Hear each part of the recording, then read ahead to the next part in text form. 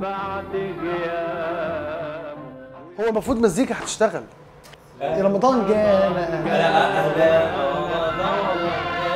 السلام عليكم ورحمة الله وبركاته، أهلاً وسهلاً بكم في برنامج رمضان جانا، عن إيش برنامجنا يا حوكة؟ عن رمضان.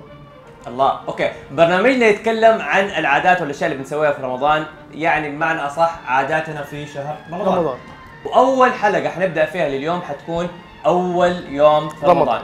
آه طيب ممكن نتكلم عن أشياء اللي هي إيش الفطور في السعودية وإيش الفطور في مصر. في مصر. إحنا عندنا في السعودية طبعا جزء أساسي في رمضان بعد التمر واللبن والأشياء هذه السمبوسة.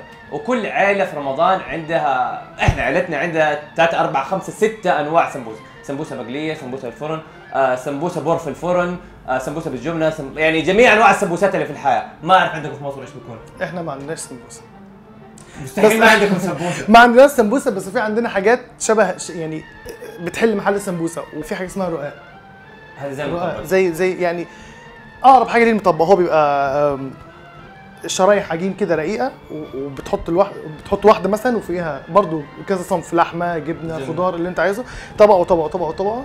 وبعدين بتحطها في الفرن وتقطعها مربعات أو كده. طبعا آه الشربات في رمضان تكتر بس الأساس دائما شوربة الحب وشوربة ABC أنتوا إيش بتسموها؟ شوربة لسان عصفور. إحنا إحنا بناخذ برضه لسان عصفور بس هل بتسموا برضه شوربة ال... إنتوا تسموا شوربة ال ABC أظن شوربة شعرية؟ لا اي بي سي اللي فيها اي بي سي حروف. حروف ABC لا. عندنا شعرية أو لسان عصفور أو في حاجة اسمها ترسة. لا هذه مهمه ترسة شكلها تروس كأنها تروس صغيرة كده. آه أوكي أوكي عرفتها. برضه بتيجي مع بس كلها نفس. لا يعني ما فيش بصلصة ما فيش كريمة مش عارف هي شوربة شوربة الشفافة وعليها مرقة وجواها بالظبط مرق طبعا من أهم الأشياء اللي موجودة على مائده رمضان اللي هي إيش؟ الفول. آه أنا بالنسبة لي عندنا في البيت بيطلبوا ما شاء الله ب 10 ريال فول في النهايه ما يتاكل غير بنص ريال فول. أساسا ما حد في البيت عندنا بياكل فول غير امي وابويا. ما اعرف أنتوا كيف بالنسبة لكم.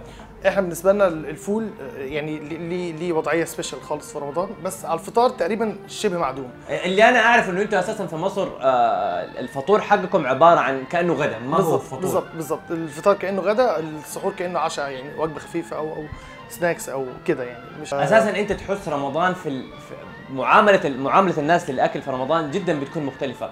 يعني موضوع إنه الناس إحنا نسميها فرزنه اللي هي, اللي. هي أنت بت... بتمسك الأكل كله حق رمضان تحطه في. الفريزر وبتبدأ تطلعه بكميات غير طبيعية أول 10 أيام.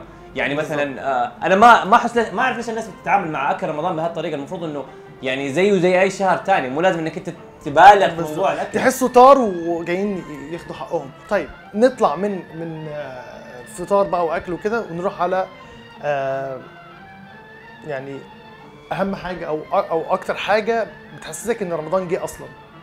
آه أنا بالنسبة لي الهلال والفانوس. حلو. الفانوس. عموما هو الفانوس طبعا. هو هو أساس اللي أنا هتكلم فيه زينة رمضان نفسها. إحنا ما بنستخدم زينة. إحنا نادر ما بنحط الشراشف الحمراء هذه ليش تسموها أنتوا؟ لا شوف أنا أقول لك على حاجة. إحنا اول ما بيجي رمضان أو قبلها بشويه حتى بيبتدي الشارع كله يعني يعملوا زي جطة أنتوا بتقولوا جطة جمعية كده. ويجمعوا فيها فلوس مع بعض وبيبقوا حاسبينها إنه هيجيبوا كام متر زينة أو كام هذا متر في كل أحياء مصر؟ كل حي هتخش في رمضان هتلاقي نفس نفس الفكرة أو نفس التكنيك ده هم شغالين بيه زينة حوالين الشارع وفي نص الشارع متعلق فانوس كبير وبكده نبقى وصلنا لنهاية أول حلقة من برنامج رمضان جانا وأنا حاسس إن أنا يعني مبسوط مبدئيا مبسوط لأن أنا هتعلم حاجات كتير وهعرف حاجات كتير عن رمضان في السعودية مع إني already يعني في عندي خلفية كويسة. مو أنت أصلا عايش في السعودية بس أنا أحس نفسي إن أنا حتعلم أكثر عن ثقافة مصر وثقافه الشعب. المصري في الفطور في مصر اللي هي طبعا لا يعلى عليها ما شاء الله. آه بكذا مشاهدينا وصلنا لنهاية الحلقة. لا تنسونا ولا تحرمونا من ال share من ال subscribe ال like. وإذا في أي موضوع حابين نتكلم عنه في رمضان يا ريت تحطوا لنا هو في الكومنت. نشوفكم إن شاء الله في حلقة ثانية من برنامج رمضان رمضان. رمضان